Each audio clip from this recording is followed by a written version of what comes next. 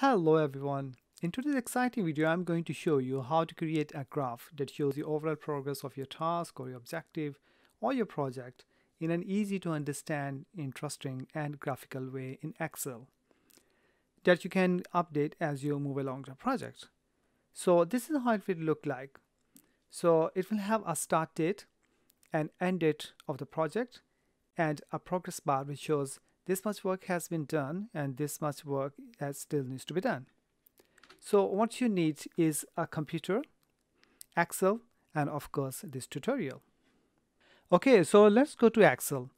So here all you need is the start date of your project, the end date of the project, the duration of the project, the work that has been completed, and the work that still needs to be done.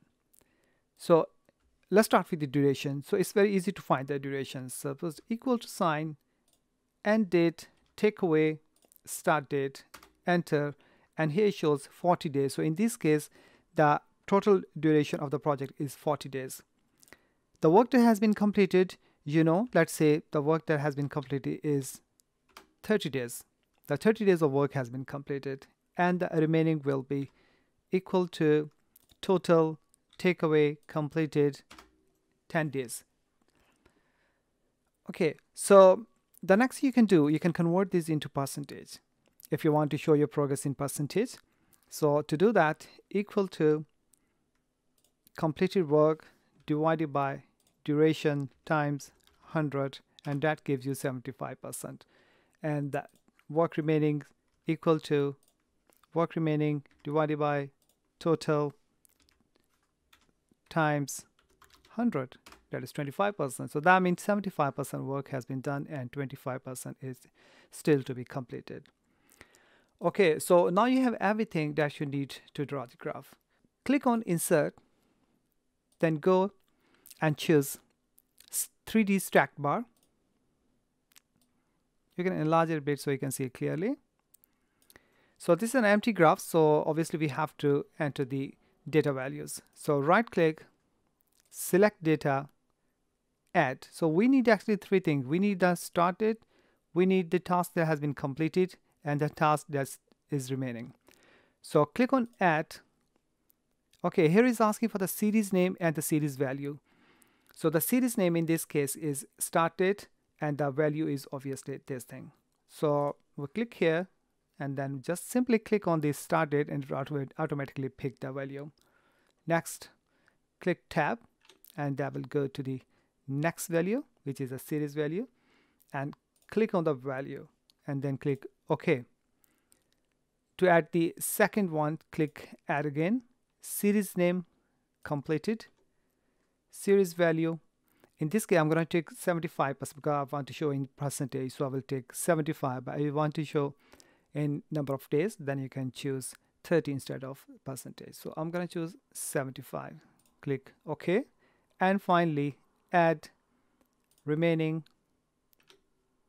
25 equal to and then finally click OK.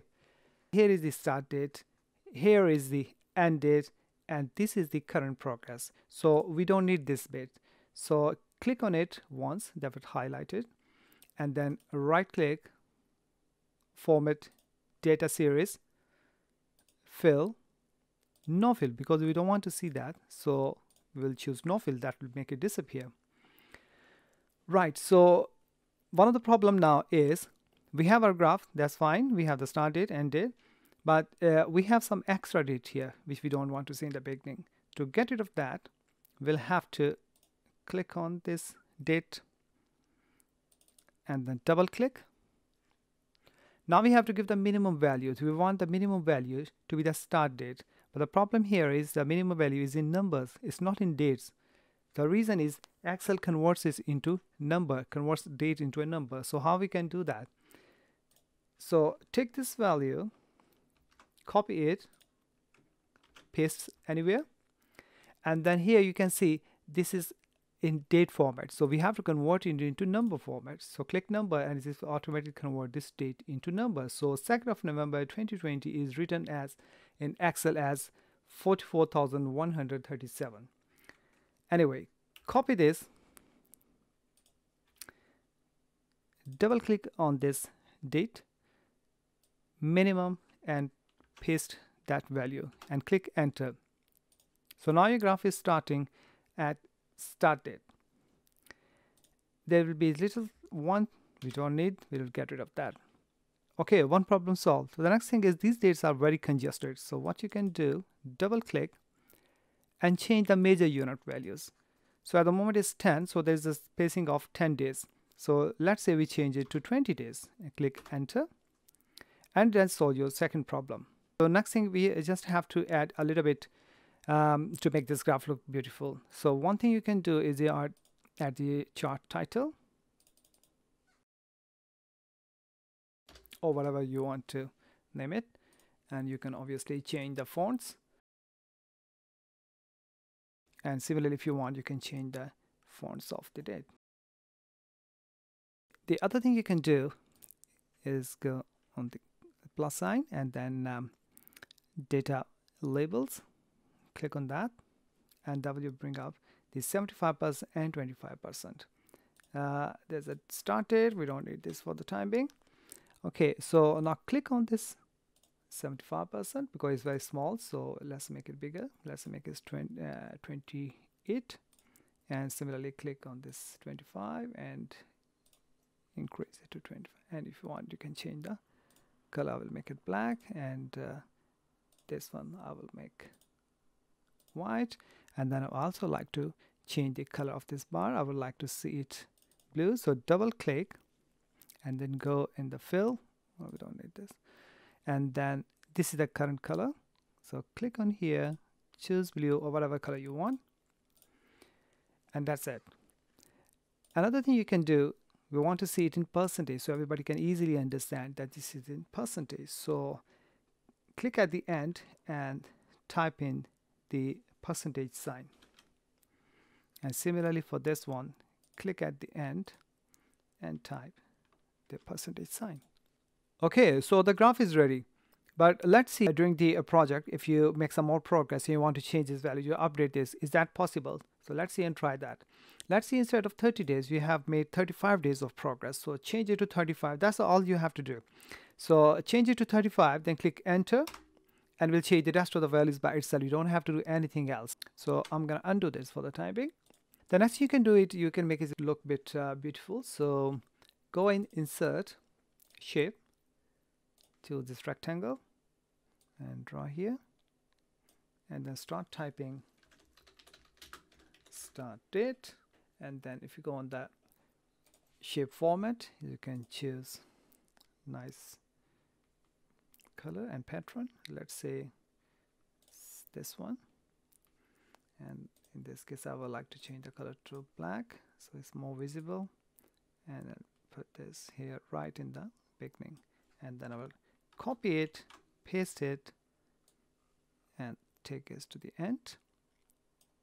And again go to shape format and change the color. So let's say more noticeable let's say yellow.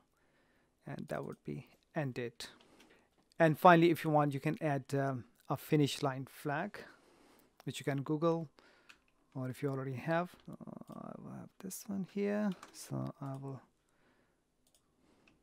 paste it here. And if similarly if you want you can put the uh, something for the start date as well. Okay so our graph is now ready. And uh, one final thing is you want to print this. So how can you print that?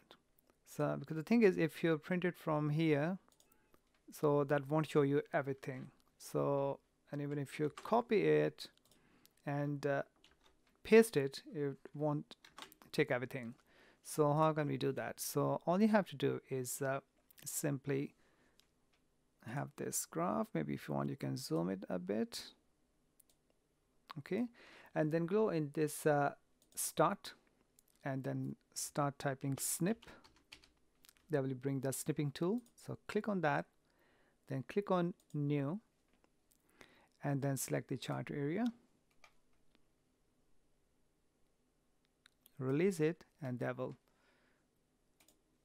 copy and then click on this copy. And then take it to Word or um, PowerPoint wherever you want and then paste it as a picture. And there your graph is. I would like to take it on the uh, PowerPoint so then just go on this design and then uh, go click on this uh, design ideas. So here you'll have different design ideas. So you can choose anyone you like like this or this or this.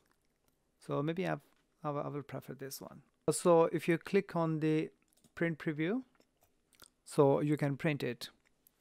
Or if you want to save it as a picture so the easy way is just uh, maximize it to full screen and then press the print screen button. That will copy the whole screen and then come back. New slide and then paste it as a picture. So now you can see this is now a picture while the previous one was not a full picture. Okay. So this is not a full picture. If you want you can save is um, uh, you can send it to somebody. Or if you want you can easily take a print. Okay so uh, I hope that uh, gives some idea of how you can do that. And uh, if you like my video please uh, don't forget to subscribe like and share. And uh, if you have any question just drop me in the comment section below and I will uh, reply you straight away. Thank you very much for your time. Thank you. Bye